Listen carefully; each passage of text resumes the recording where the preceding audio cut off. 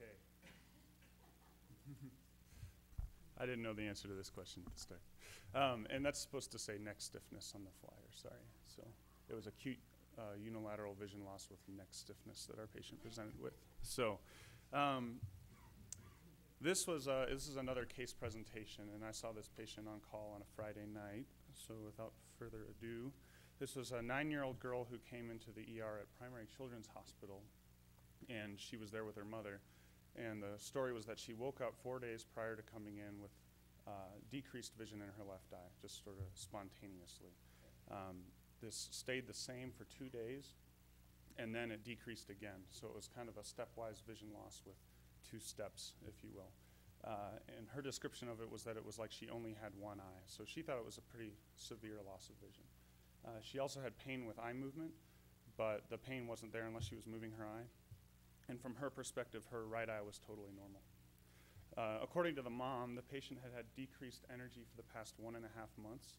She was pretty confident in this because the patient had a twin sister with whom she was always running around the house. But for the past one and a half months, the sister was running around and the patient was just sitting on the couch. Uh, the patient had also had neck stiffness for five days, uh, but this was actually improving. This was not on the downswing, so that was good news as well.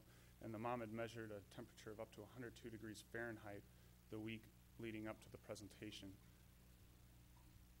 So, according to the mom, the patient was healthy otherwise. Mother thinks that the patient had a history of maybe a lazy eye. She wasn't really sure. But for, for this reason, the patient was followed by an ophthalmologist every couple years, and nine months previously, uh, she'd had an eye exam that, according to the mother, was completely normal. So, whatever had happened seemed to have resolved. She also had a right inguinal hernia repair at age four.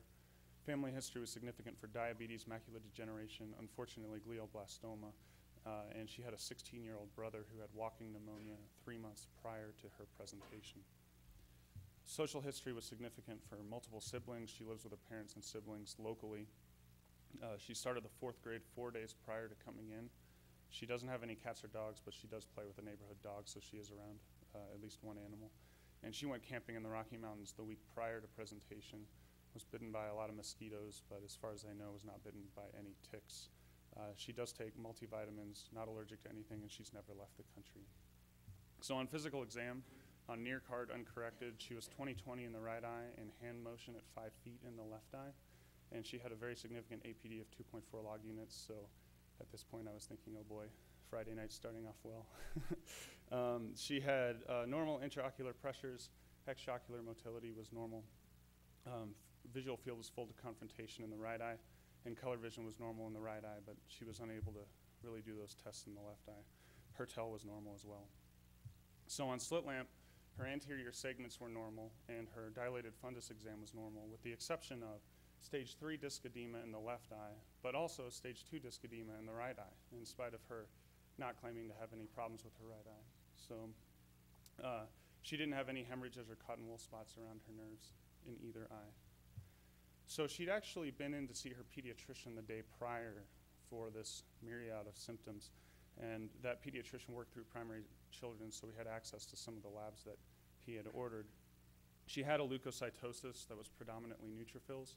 Uh, her CMP was normal, um, and he ordered a number of other tests, including Epstein Barr virus serology, for which the early antigen IgG came back negative, nuclear uh, IgG came back negative, and I'll go through what these tests mean. Um, viral capsid antigen IgM was negative, and the VCA IgG was positive. That stays positive for life, so it doesn't necessarily mean an acute infection.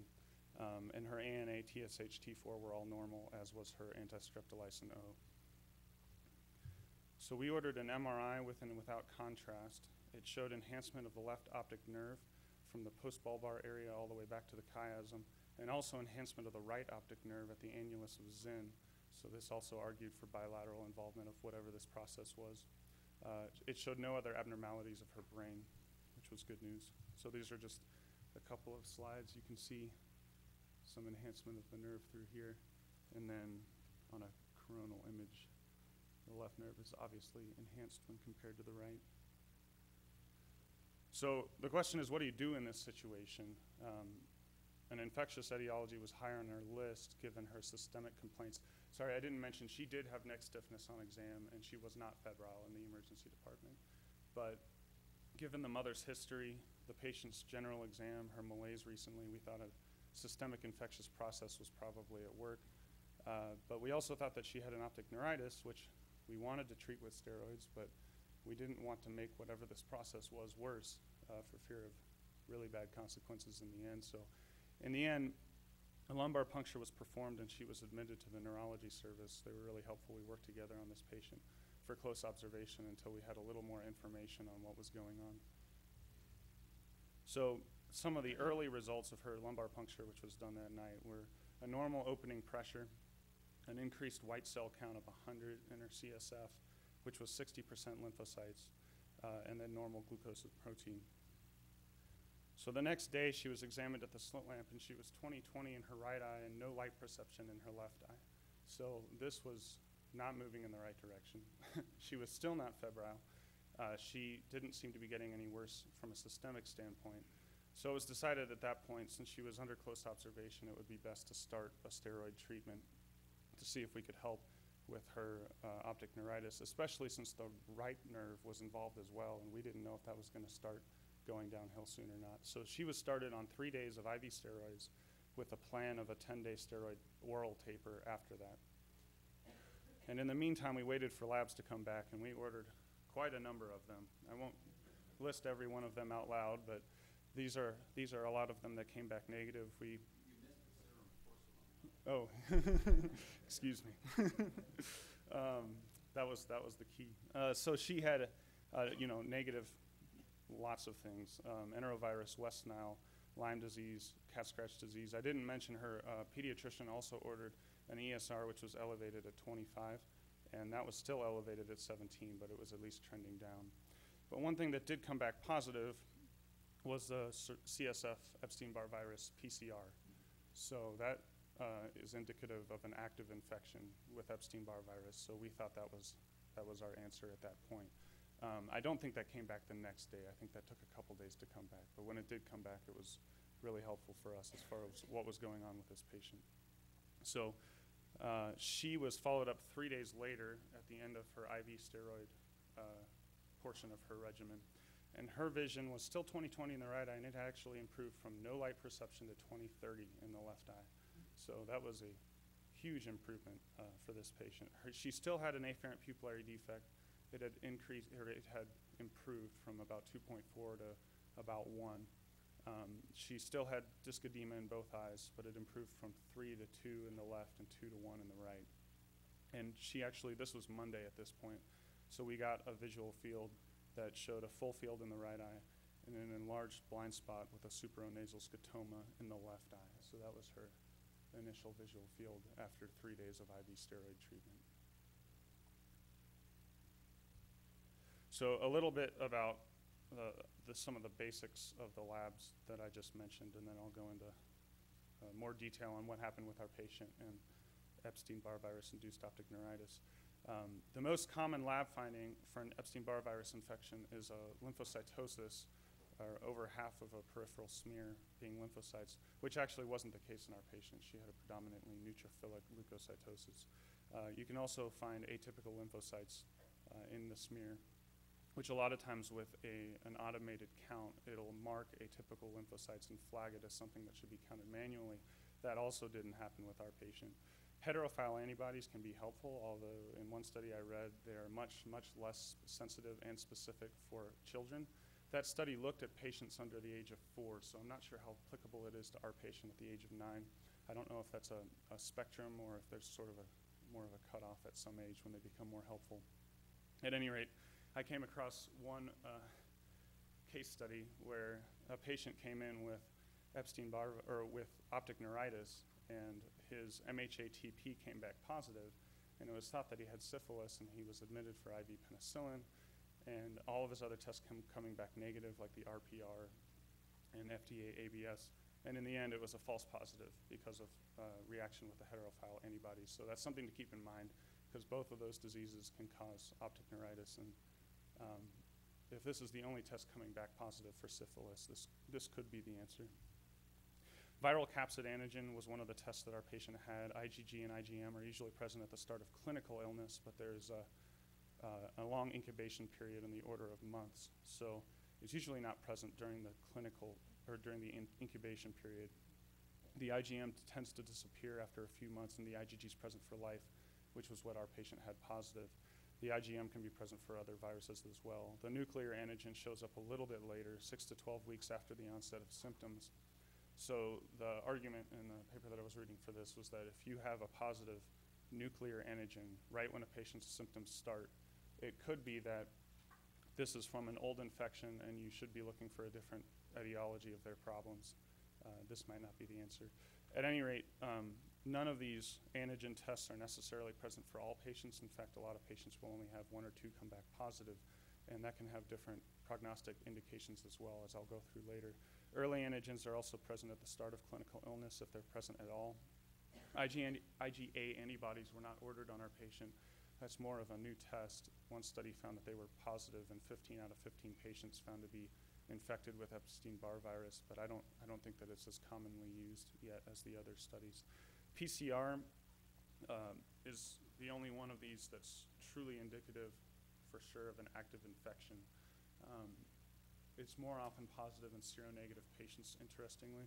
Uh, and if you get a quantitative PCR, it can actually be indicative of other things going on like lymphadenopathy, lymphocyte numbers, and aminotransferase levels. It correlates with those. So with our patient, with her symptoms, lab values, family history, everything going on, we thought this all made sense. It matched up. She had what seemed like a monoprodrome followed by optic neuritis. Everyone was happy with how she was doing. She was discharged to complete her oral steroid follow and follow up with Dr. Katz in a few weeks. And then unfortunately, she got worse. so she came back with hand motion vision in the left eye.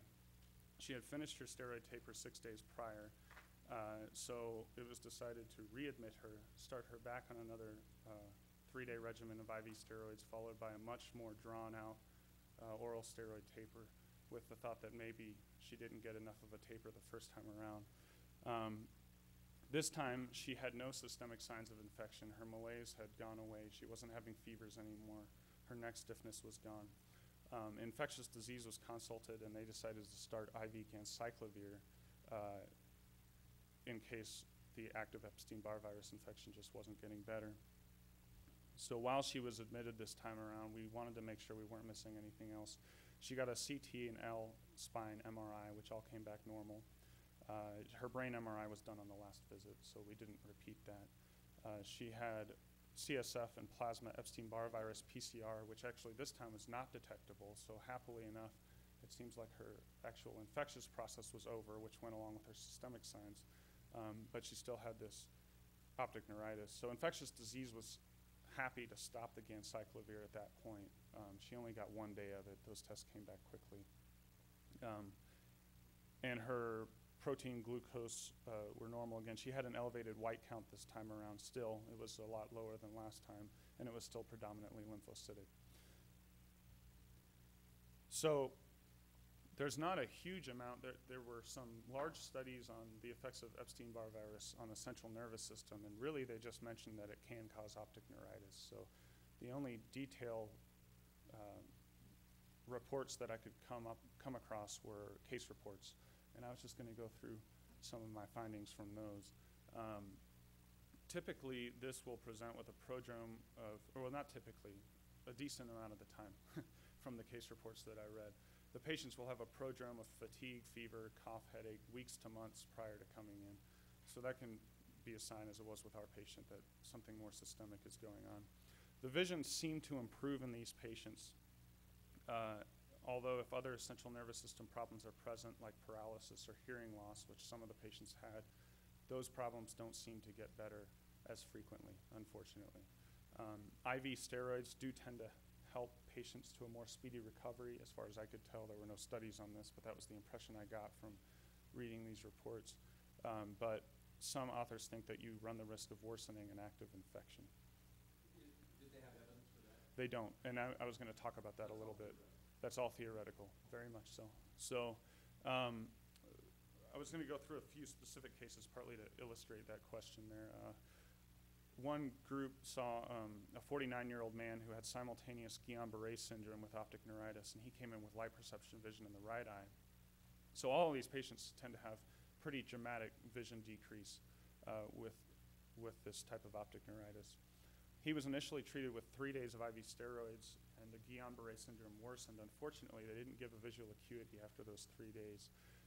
He was then started on IVIG for a total of five days of treatment with that.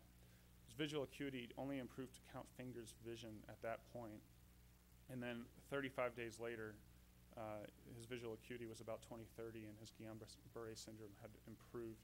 They don't really give any information in the interim, and, and these authors argued that uh, steroids and IVIG would be beneficial, but I'm not entirely sure I agree with them here because, for one, the patient didn't seem to improve all that much with the steroids and IVIG. Uh, he seemed to improve, in, my opinion, more on his own after the treatment regimen was stopped. And also, I, I don't know that the steroids, as far as his vision was concerned, were, were given the more standard treatment regimen, which is to include an oral steroid taper after the IVIG.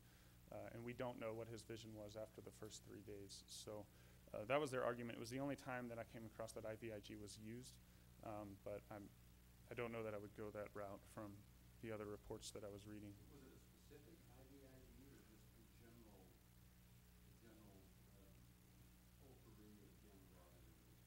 I don't think they were specific, so I, yeah, I, Guillain-Barré. I think it was pooled. Um, there was another report with a 32-year-old woman with uh, neuromyelitis optica with initial hand motion vision in both eyes. She was treated with the more standard three days of IV steroids followed by an oral taper. Two weeks later, her vision was 20/30 in both eyes, and she had no improvement with her paraplegia after six weeks of follow-up. So that was sort of what I was alluding to. A lot of these patients, their other problems don't improve as well as their vision does. Um, these authors were some of the authors that speculated that CNS-induced problems by Epstein-Barr virus are of immune etiology rather than a direct effect of infection. And I think our case is helpful in that regard because we finally have a case where we had an active infection. We, we are pretty confident that this was an Epstein-Barr virus-induced optic neuritis. And then she came back with, I don't know if you would call it a relapse because I don't know that she ever completely recovered, but she certainly got worse. And we had evidence with a repeat PCR that the infection was no longer present.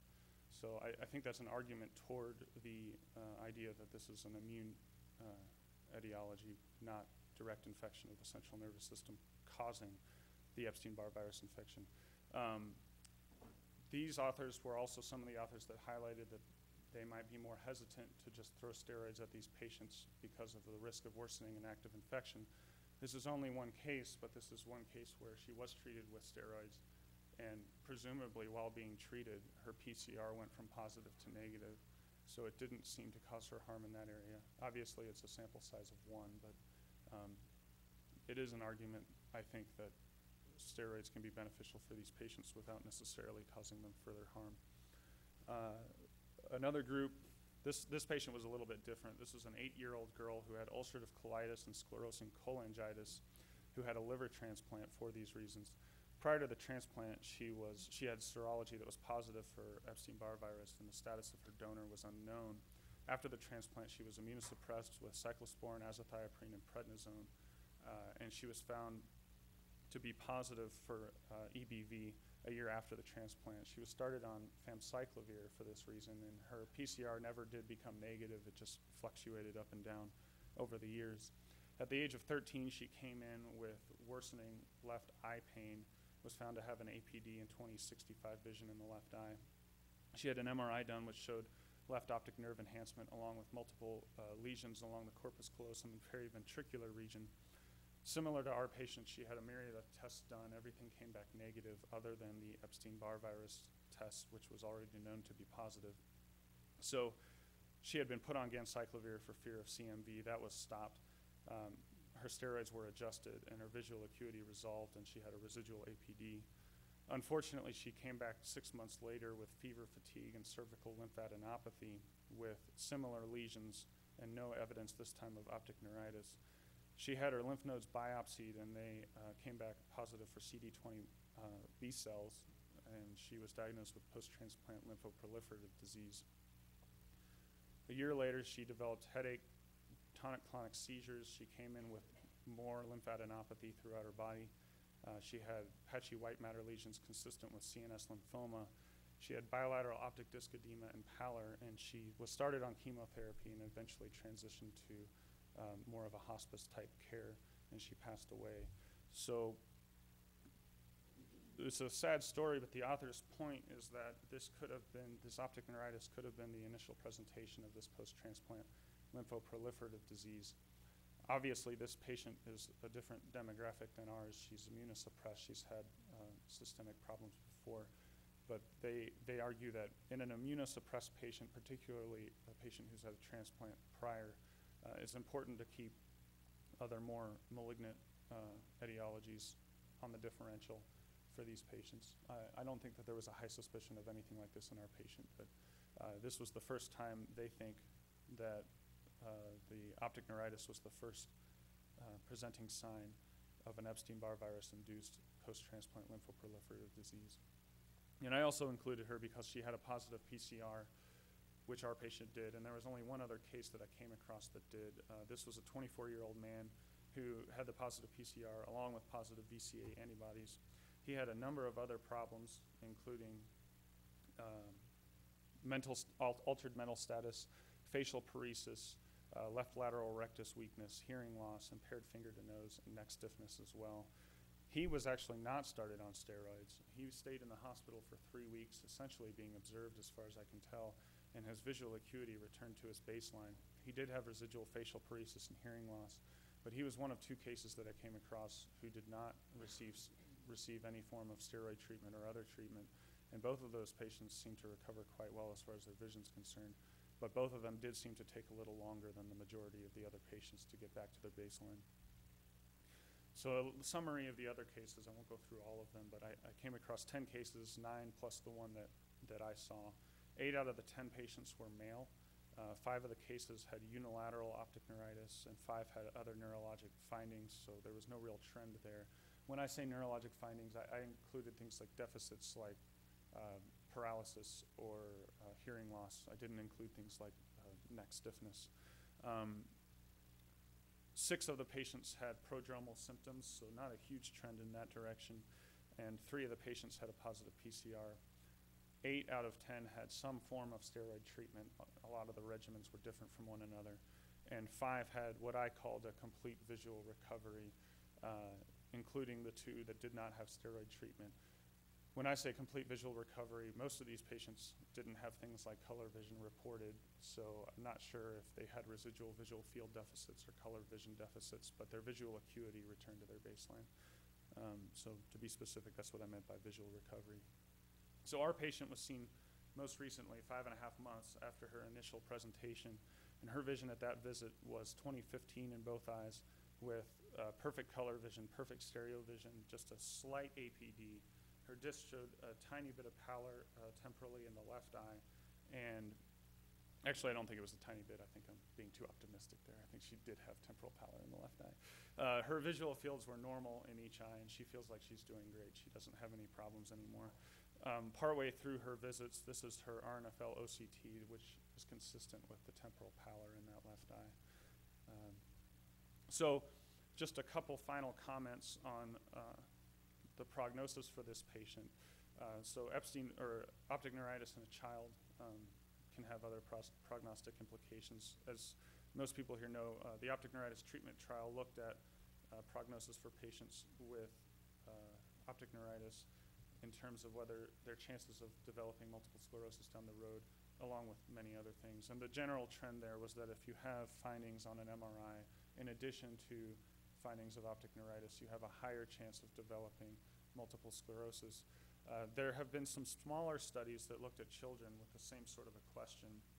One of them, as an example, was a study in 2009 that was a retrospective study of children with idiopathic optic neuritis, which doesn't entirely apply to our patient because hers was not idiopathic, but to dangerously extrapolate. Uh, she, three out of 18 of these patients had uh, multiple sclerosis after two years of follow-up. Um, three out of seven of them developed it if they had other findings on an MRI, and only zero, well, zero out of 11 developed multiple sclerosis with uh, an otherwise normal MRI. And the trend was continued in a meta analysis done a couple years later with similar studies. So uh, not as many patients in these studies, but the trend seems to be similar, that if your MRI doesn't show other abnormalities, then you stand less of a chance to develop multiple sclerosis. Uh, an interesting study that I came across looked at patients in northern Sweden, which is, you know, an area where multiple sclerosis is much more common. And they actually had a, a registry of patients' serum that they studied, and they did a, a huge amount of tests. Um, they probably did do the, was it the porphyrin test, Dr. Olson, that I missed? they probably did that one as well.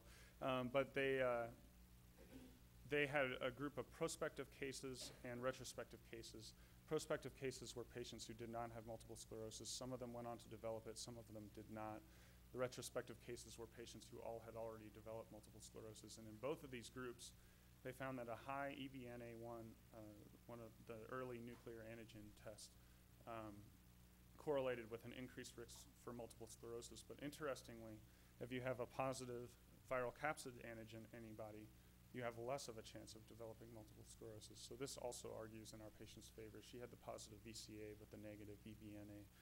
Are? Uh, I, I think, I don't remember. I'm sorry. One point two versus a, or one point one versus a point nine, or a two versus a point five. I do, I, I do remember the difference for the EBNA was larger than the VCA, but I, I'm sorry, I don't remember the exact numbers. Um, Where are those statistics help people look at that? I mean, the differences are very small, it, it, it's more likely to be a statistical anomaly, isn't it? But, you- because you, you get power by getting a lot of numbers, but it's, that's enough numbers to have some power on that study, but, that's true. uh, e- even if the numbers are relatively low, if, if those are, those are relative risks is, is, you know, quite small, you, you can be a lot, you- you're left mu- much less concerned about what that rate check. If it was like threefold more and then it was like half, Sure. then that's something you gotta take much more seriously.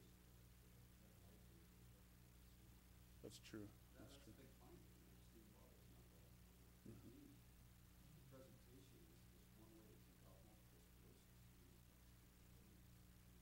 That's true.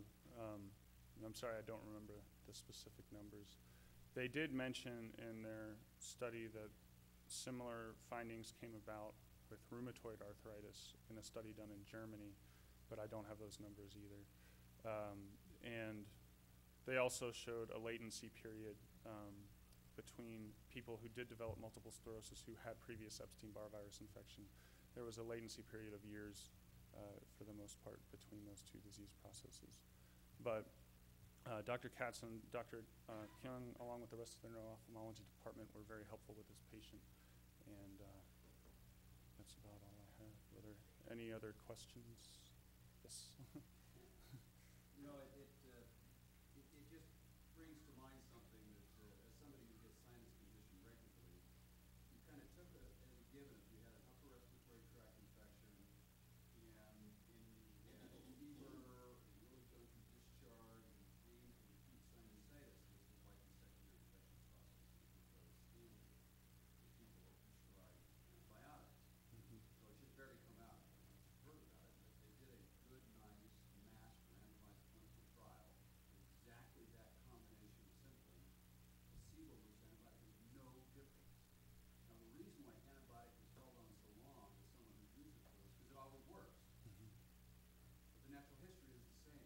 And that's one of the biggest problems with this, like, is who knows the natural history. And I, I'll just show you how, how crazy that gets. Uh, You know, being from Scandinavia, and on a Scandinavian tradition is that as the days got very short, think of being in northern Sweden where we it would go black for a period of time, that, that, you know, around Christmas time, you, you would find that there were doing sacrifice of it and the days get long again. So that's another way. So when it was, when Christianity went through there, they had a hard time getting rid of that tradition because the people said, it always works. What happens is the sun never comes back up. And and sadly, you know, sometimes we're not any better than that. The natural history is, is so critical to have in order to, and, uh, they pointed out that excess use of antibiotics, that, that it turns out the number one excess use is probably sinusitis, because it's such a common thing, and, and yet, just, it's taken this long, so you really do a good study, no, no difference.